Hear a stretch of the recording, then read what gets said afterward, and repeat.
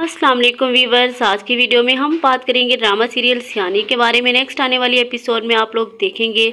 जुहेब कहता है कि असल में नवाल बात यह है कि तुम्हें इज़्ज़त राशि नहीं है। मैंने अपनी हर कोशिश कर ली है तुम्हारे साथ बिल्कुल सही रहने के लेकिन तुम चाहते ही नहीं हो। तुम्हारे दिलो दिमाग में अभी भी उजाला ही छाई हुई है।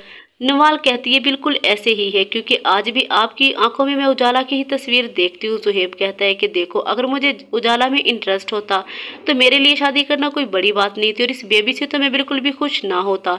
बताओ, क्या मैं तुम्हारी हर खुशियों में शरीक नहीं हुआ? फिर तुम मुझ पर कैसे शक कर सकती हो? नवाल कहती है कि कुछ भी हो, मैं सारी हकीकत जान चुकी हूँ जुहेब कहता है तो ठीक है, अगर इस बार तुम घर छोड़ के गई या मैं तुम्हें छोड़ के गया तो इस गलत फहमी में मत रहना कि मैं तुम्हें वापस लेने आऊँगा। इस बार हम में से जो भी ये गलती करेगा, वो सारी गलती का जिम्मेदार खुद होगा, नवाल कहती है कि इतना सब कुछ होने के बाद मैं तो आपके साथ बिल्कुल भी नहीं रहूँगी। जुहेब कहता है तो ठीक है, फिर तुम्हें खुली इजाज़त है, तुम जहाँ जाना चाहो जा सकती जा सकती हो।